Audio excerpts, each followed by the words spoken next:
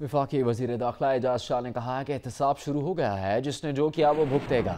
NAB کی کسی بھی کاروائی سے حکومت کا کوئی تعلق نہیں۔ اگر شاہد خاکان عباسی نے کچھ نہیں کیا تو انہیں چھوڑ دیا جائے گا۔ اس چیز کو تو زرداری صاحب نے خود پوزے میں بند کر دیا۔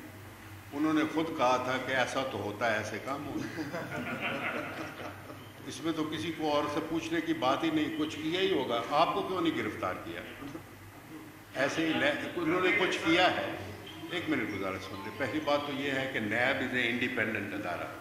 نیب کا چیئرمین پیپلز پارٹی اور مسلم لیگ نے سلیکٹ کیا ہے۔ اس میں کوئی رول نہیں ہے عمران خان کا یا پی ٹی آئی کا۔ پی ٹی آئی کے بندے پکڑے گئے ہیں۔ اس میں کوئی رول نہیں تھا۔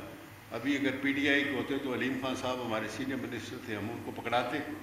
ابھی جو ہمارے دوسرے منسٹر ہیں، سبتین صاحب میاں والی سے، انہوں نے دو ہزار آٹھ کا ان کے خلاف ایک کیس نکال لیا۔ ان کو پکڑیے ہم پکڑ پکڑنے دیتے۔